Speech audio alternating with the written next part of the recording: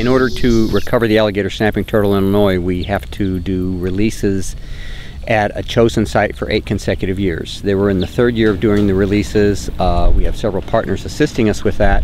One is the Illinois Natural History Survey, who we have contracted to do the telemetry and monitoring of the turtles. So the difference is between common snappers and alligator snappers.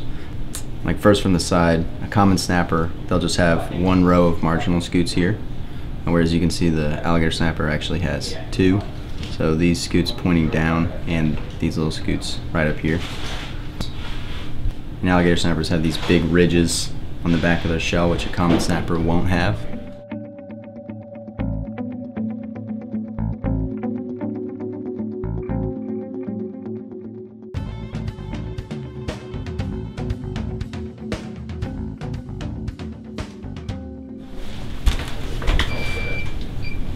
Two, three, two.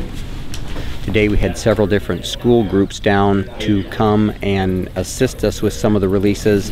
They've been assisting us with raising turtles in the classroom until they're the right size to release to help supplement our releases. I think it's a huge honor to be able to do that, and I think it's something very unique that not, not many people will be able to say that uh, one day, like you know, I helped repopulate an uh, entire species.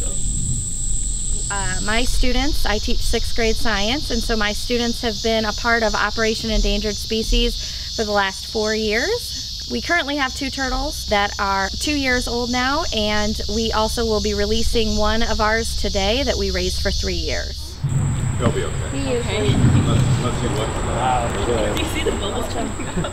I think it's important that we involve school children because they're going to be our future. Um, if we have very conservation minded children, they'll grow up into conservation minded adults and help us keep some of these species proliferating. How long can they hold their breath? About 45 minutes to an hour.